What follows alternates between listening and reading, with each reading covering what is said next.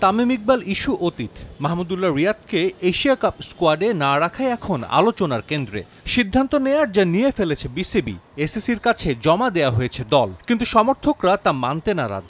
আটত্রিশ বছরের মাহমুদুল্লাহকে জাতীয় দলে চাই চাই। ময়মনসিংহে বিক্ষোভ করেছেন সমর্থকরা। সামাজিক ও ডিজিটাল প্ল্যাটফর্মেও অনেকেই সোচ্চার। সাবেকদের মধ্যেও দু একজন মাহমুদুল্লাহর পক্ষে কথা বলছেন। চারদিক থেকে চাপ আসলেও বিসিবি এ নিয়ে মোটেও ভাবছে না। প্রক্রিয়া মেনে আপন গতিতে চলবে বাংলাদেশ দল। বোর্ডের উপর প্রেশার কিছু নেই। Mahmudullah is one of the best batsman ever produced by Bangladesh. এখন ফিট ইন না করলে আপনি করবেন কি? নিশ্চয়ই ইকুয়েশনে মানে কোচের যে প্ল্যানিং সেই প্ল্যানিংয়ে হয়তো ফিট ইন করে না।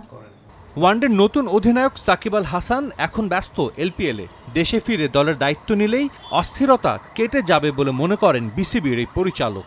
সাকিব চলে আসলেই তারপর তো সাকিব এই টিম তখন আমরা কাউকে সিলেক্ট করছি উই শুড ব্যাক মানে অ্যাজ এ কোচ একজন management we should back fully যেটা ক্রিকেট বোর্ড বলেন, আমাদের প্রেসিডেন্ট বলেন, এটা করা হচ্ছে।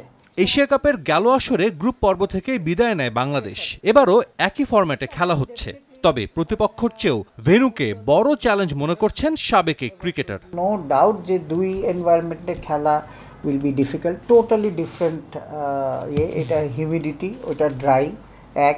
সো উইকেটেও মানে ওয়েদার ইয়েতে ইয়ে হিসাবে হিউমিডিটি থাকবে, ওটা একদম ড্রাই উইকেট থাকবে, এটা তো আছে plus travelling hope Bangladesh plays well the players will adjust but definitely এটা উই আর একত্রিশ আগস্ট, শ্রীলঙ্কার বিপক্ষে ম্যাচ দিয়ে শুরু হবে বাংলাদেশের Asia cup mission. Sajid Mustahid, সময় সংবাদ, ঢাকা।